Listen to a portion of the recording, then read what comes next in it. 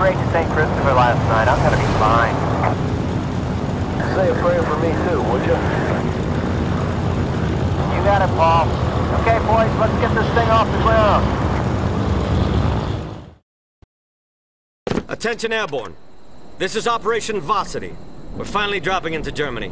Our enemy is about to collapse, but that does not mean that he is weak. Here's our DZ. Air Force carpet bombed this factory district for weeks, but months' worth of war material remains undamaged. This is a Panzer tank assembly facility. Local resistance reports a railgun is hidden inside. If you find it, you know what to do. The enemy has several tanks ready to deliver to the front lines. Make sure they never leave this rail yard. This chem plant produces explosives for anti-aircraft shells.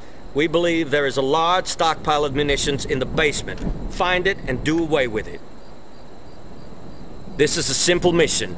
If it can shoot you or be shot at you, destroy it. Dismissed.